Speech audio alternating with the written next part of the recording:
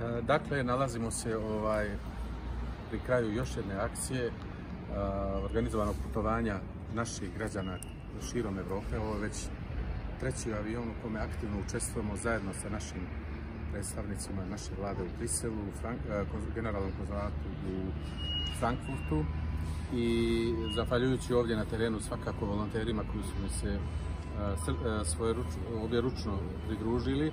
Između ostalog imam pored sebe ovdje i člana Savjeta za dijasporu gospodina Edina Latića, uspješnog privrednika, gospodina Hamdiju Rasudera, istaknutog e, člana udruženja Bihor, koji je jedan od većih aktivista u svom udruženju. E, Htio bih da kažem da, da u svemu ovome dobio sam i raznih zahtjeva na telefonima i tako da bi dobro bilo da jednoga dana ostvarimo svoj san, da imamo i svoju avionsku liniju iz Luksemburga, jer nas stvarno ovdje ima puno, ali o tom potom. Još jedno bih se zahvalio u svoje ime svima našim e, predstavnicima, kao što rekoh, posebno našoj vladi koja u svemu ovome imala i sluha i osjećaja da, da za svakog svog pojedinca na bilo kojem kraju svijeta.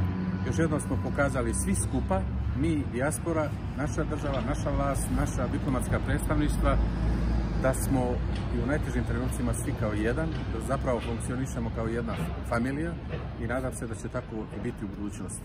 Živjeli, hvala. Hvala.